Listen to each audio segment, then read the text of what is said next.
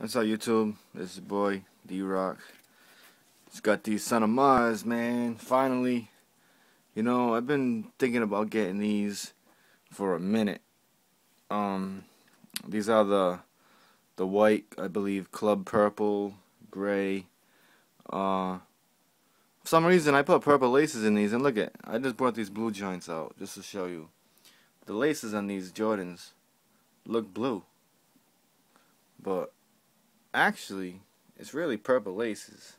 You know, I'm not colorblind. Even the Jumpman looks kind of blue. You know, that's crazy. I don't know what's going on. But, um, yeah, not much to say. I bet you've probably seen these. Son of Mars, got the Icy Sole. I rocked the shit out of these for two days straight.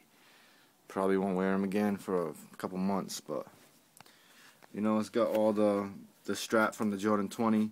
It's got all the words reminiscent of uh, Spike Lee, aka Mars Blackman, son of Mars. Yo, my little man loves these sneakers, right? so yeah, um, I think this is one of the most slept on shoes, man. And a lot of people say they're ugly because of the strap, you know. But if you just if, if you cut off the strap, I think they look just like a spike though, spike, or maybe the the six or the five or whatever it is. Like I said, I'm, I'm not a sneakerhead, so if I, if I don't if I get that wrong, so what? I just like to buy sneakers, man. Jordans are my shit. One thing I will say that's not good about these, man. You can look right there. See that crease? These shits are a bitch to put on your feet. It's so tight. And when I put them on, I scrunched it. I fucking squished it a little bit and I scuffed it, man. I creased it, I mean. So, yeah.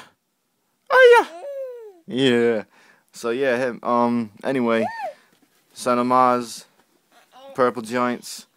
Uh, believe I paid one thirty-five. They were on sale because this is the older pair that came out. The black and red ones are out, but I'm gonna wait on those and I'm gonna get the black, the stealth ones, the aqua ones that are coming out in August. Definitely gonna get those. Ah, YouTube.